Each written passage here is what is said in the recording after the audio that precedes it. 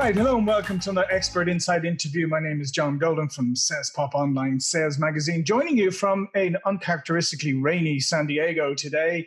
And I'm delighted to welcome Mary Jane Mapes, who is in Kalamazoo, Michigan. How are you doing, Mary Jane? I'm doing great. It looks like it's going to be raining here too, so yeah. well, it's a bit more unusual for us, uh, but uh, hey, listen, I've learned by now that if you complain about the weather in San Diego, you get zero sympathy from people in the rest of the world. So. That is true.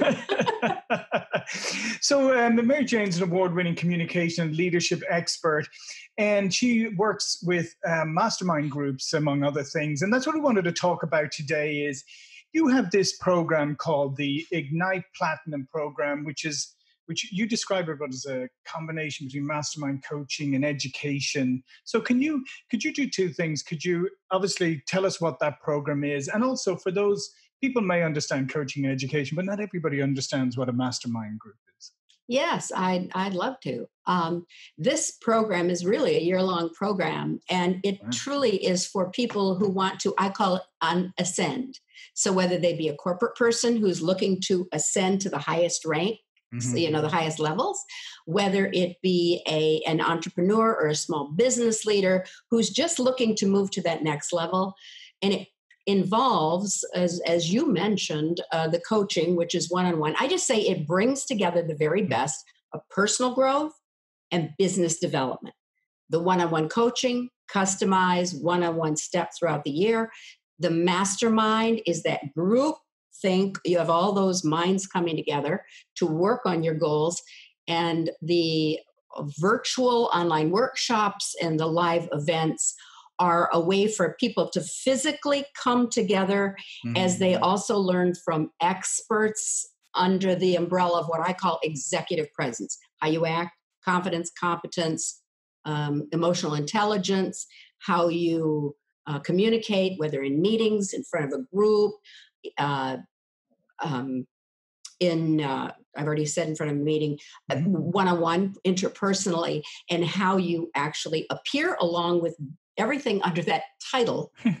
Probably not everything, but many things under that title of of um, business etiquette. So it covers the aspects of executive presence, leadership development, entrepreneur, small business person, corporate.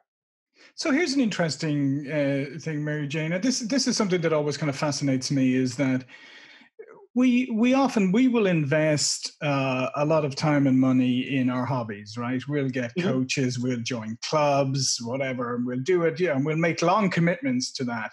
Right. But when it comes to our professional life, the thing that puts money and bread on the table, right?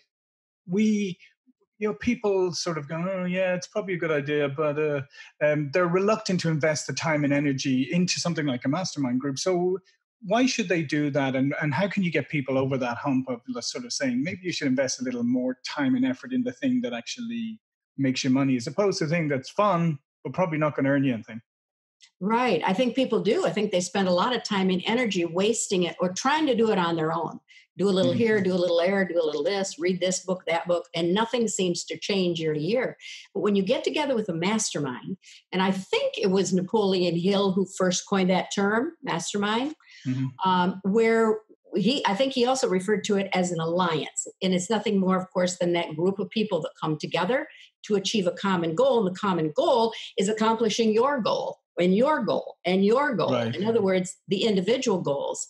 So um, small business people, I think oftentimes it's true for entrepreneurs, they don't have those uh, colleagues or they mm-hmm. don't have that full staff. And so this way you get the best the experience, the knowledge, the skill of all of these people working collectively on your goal to help you grow your business exponentially. And I, it's, it's priceless. And why? I don't know if it's small thinking or what, but um, people I always say you've got to recognize that really to get where you want to go, you need more than just yourself. And mm-hmm. um, it's proven think, true for me over and over. Yeah, I think it's. I think sometimes people suffer from this uh, issue where they think, Well, if I'm if I'm going to have any kind of training or professional development or in a group, well, that's something that the company ought should do for me. And the company comes to me and says, "Oh, look, this is available to you." But yet, at the end of the day, nobody cares about your career as much as you do, or should.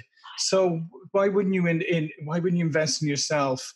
Um, and I and that's a great point I think you raised. Sometimes in a in a business, in any organization, small or large, but sometimes you can very much feel like you're on your own, right? There's nobody who's right. going through the same thing as you. So being part of a group is obviously a good idea. But let me ask you uh, so, how do you help people overcome maybe they are a little bit nervous or intimidated, saying, Oh, well, I'm going to join a group, and these people are all high achievers and all doing great things, and I don't feel like I, I really match up with them. So I'm, I probably won't go because I'm too intimidated. Mm-hmm. Well, I think, first of all, maybe they don't match up in every mm-hmm. single area, but that's the beauty of the mastermind. I always say to people when they are questioning that, I say, think about it. Even if you were an identical twin, you'd have different fingerprints. And mm even if you had the same fingerprints as your identical twin, you would have a different in womb experience. So your experiences are different. Your knowledge base is different, your experiences are different, your perspective is different, your talents are different, your skills are different. Where you come from, somebody might be 40, somebody else somebody else might be seeing all of that. And it's not about co- i'm not competing. And that's mm-hmm. the thing we're not competing in any way. We're cooperating and working together to help you achieve your goals. And the more i work hard to connect you with the right people the right resources the right knowledge the greater the chance that you are going to be open to me. And of course that is the mastermind is you're going to be open to helping me. And collectively, we're going to help each other move our businesses forward exponentially. Yeah. Yeah, no, I love I love that idea, and I think that's a, great thing for people to bear in mind is that uh, we have we all have we all have skills, we all have things we bring to the table, and then we all have gaps and things where we could learn from other people, and it's like a big jigsaw puzzle, bringing it all together exactly. and people helping out. So you've been doing this for a while, right? And maybe for those Quite a while, yes. Quite a while, yeah. Over 30 uh, years, so a long time. Exactly. So, uh, for those of for those viewing and listening uh, who may uh, may be considering this for the first time and they go, okay, well, it sounds interesting. All that. Tell me about some of the breakthrough thinking or what you have witnessed in groups that uh, that people should be aware of and, and understand what what's possible through an uh, through an engagement like this. Okay. I wish we had lots of time because I could give you lots of examples, but these are just some quick mindset shifts that I've seen and or I've experienced myself over the years. And I would mm-hmm. like to give you, if you don't mind, just one quick example. Yeah. Um, but here, here are some specific things. I've seen people come into this and, you know, it's very difficult to see yourself Yes. And I think oftentimes people come with an imposter syndrome. I mean, they live with it. You know, if people mm-hmm. only knew I wasn't yeah, what they thought yeah. I was. Well, in this situation, we've got all these people listening, working with you, you working with them. They see you in a way that maybe you don't see yourself. So you get to see yourself as other people see you. And that can be powerful, not just your blind spots, but strengths you wouldn't think of. And sort of a light mm-hmm. bulb comes on. I've seen people have a shift in terms of um, putting together products and services that they would never have considered, or maybe with customer groups they may never have considered but now, with this input and help and new perspectives, they see where they can grow their business that they'd never even considered. And I've also seen this, and that's where people have literally uh, scaled their business two, three, ten times by putting together what they already have, but in a way that they had never considered.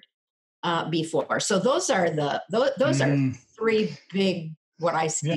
And and and before you, before you go on to the uh, the other example, sure. I just want to uh, underline that first one, especially you know the imposter syndrome, because I think that's yeah. huge. I think that holds back people from so much, uh, and and and you're right. I mean it's great to get into a group where suddenly you you know you see yourself as other people see you you, uh, you uncover strengths maybe you didn't have because i think if that's one thing it's it's that imposter syndrome really really holds people back from achieving their full potential It does. I, I, just met with someone this morning that has been um, elevated to the VP level in this very large corporation.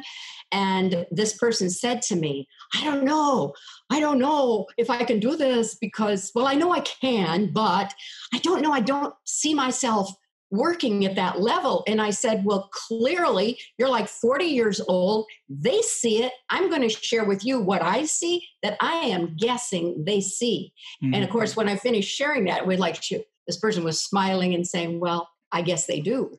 So yeah, yeah and, I, and I always yeah. I always tell people that when, when I first uh, in my first ever executive level job when I became VP for the first time, I had that where I was like, "Whoa, I want this, but I'm a little bit scared. So I I actually went out hired a coach on the side. Nobody knew about it. I did, and I had a and I had a coach. And what was interesting about that was the coach didn't just coach me to help me be a VP, but she really helped me figure out what it is I really wanted to do. And I said, well, I kind of, you know, I like being a VP, but uh, I'd love to be the CEO one day. And and so uh, you know, she helped me down. Eventually, you know, I did was CEO of, of a couple of companies, but just shows you like I just hired I hired the coach for one thing just to help me because I was again like the person you're saying right. like I was like I want this and I'm now on the senior team and like ah what do I do hired the coach and the coach actually helped me go way beyond what I initially hired her for.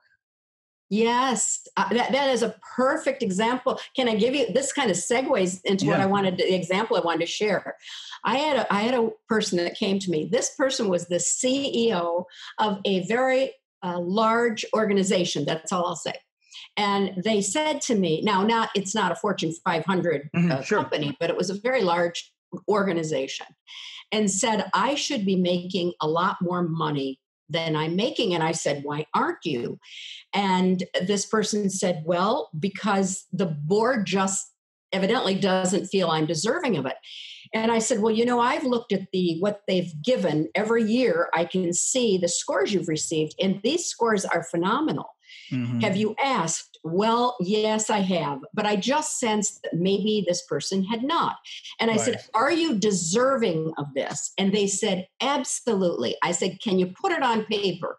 Absolutely. Can you write it out for me? Yes. I said, Do that the, in the first year alone, they had saved this organization over $500,000. I said, that's mm-hmm. significant. You've been at this job now for what, seven years? So anyway, um, when I said, are you worth it? Yes. I, then I, we talked and I said, here's what I want to see you do. Well, I'm going to cut to the chase.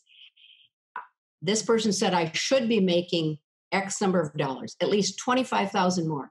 Well, in this meeting, that this person had, they not only got the raise, they got a forty thousand, not a twenty-five thousand dollar. They got a forty thousand dollar raise plus a bonus on top of that. Because when they really looked at what this person was doing, what they'd done, the money they either saved or made the organization, they said, "We need to hire three of you." In order to do what you're doing, it was not a problem. And here, all this time, this person been sitting around thinking, feeling kind of victimized, which is crazy because yeah. they were already.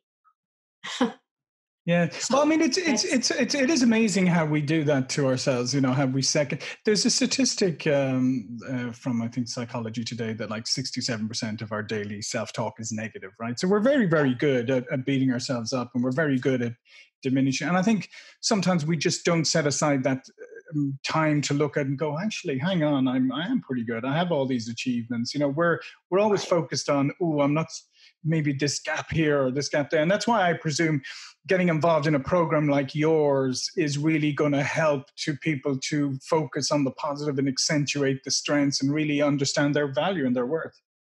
Absolutely. And and the beauty is people don't have to walk it alone and I think mm-hmm. sometimes they feel they have to walk it alone. In a corporate setting, sometimes I think they feel that um, the corporation often feels like we've got all the people we need, we've got the coaches we need, we've got this they need. What they don't have is an outside perspective.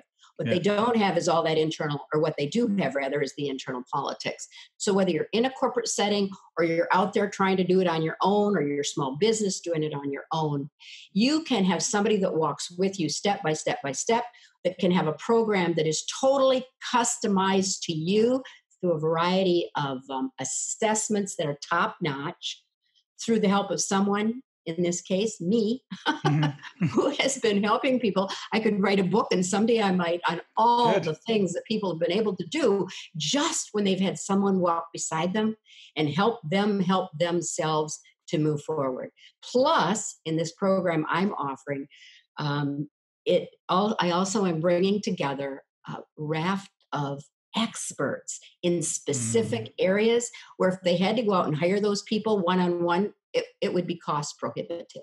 Right. So I, it's they get to learn, they get to mastermind, they get to move themselves and their business, and to me, those two really go hand in hand in glove um, forward and, and, with the help and support of so many others. Yeah, and then probably the one of the one of the greatest things that people I can imagine experience in in this in, in scenario is that suddenly they realize that they're helping other people and they're contributing to the success of the people at the table, and that's got to be great from a yeah. from an, an esteem and uh, you know an esteem and awareness point of view. Mm, I, I, was watching someone on television the other day, and they were spending three hundred million dollars of their own money or something. We're not talking about three hundred million dollars, but three hundred mm-hmm. million dollars of their own money to take like straws, plastic straws, and uh, recycle them in a way that they would be degradable. Right. And so, and the person at, interviewing them said, "Why would you take three hundred million dollars of your own money? Why are you doing this?" And they said, "Because number one, I think it's my responsibility, but number two, it feels good. I am actually helping do something productive, and I think most people out there want their life to be meaningful." Yeah. They want to yes. make a difference. They want to contribute. And when I contribute to you, you can't it's old hat to say it, but it's true. I can't contribute to your life. I can't contribute to anybody else's life without ultimately contributing to my own. Yeah, and it's the yeah. best feeling in the whole world. Yeah, and I think that's a, that's a fantastic uh, point to to end this fascinating conversation. But before we go, Mary Jane, can you tell people a little bit more about you and how they can find out about more about what you do in your programs? Yes, and this this whole mastermind thing, and my whole website's being turned over right now, so they're not going to see that on it. But if they went to Mary Jane Mapes, M A P E S, that's P as in Peter, M A P E S dot com is one of my websites. Or they can call me directly if they'd like at 800 851 2270. 851 2270. I'd be hmm. happy to talk with them about it and in fact, I'd love to. and, and all I of thank them, you for having me today. No, absolutely. It's been fantastic. And all of Mary Jane's information will obviously be available from her profile on, on Sales Pop as well. Listen, Mary Jane, this has been great. And maybe you come back again and we can talk about some more stories and breakthrough thinking that you can achieve with this. Because I do think it I do think it is really important. And I would really, really encourage people to look at your own professional development and and think about that if you're not going to invest in yourself, who is? Come on. Right. Yeah. Oh, I'd love to. I would love to. I wrote a book a couple of years ago. There were some, uh, these are top, top leaders. And one of the things they said is nurture those things, invest in those things that are all about you. Yeah. And your career really is all about you. Exactly. Perfect. Listen, Mary Jane, thank you very much. Uh, Thank you all for joining. My name is John Golden, Sales Pop Online Sales Magazine, Pipeliner CRM. See you all for another expert interview really soon. Thank you. Thank you.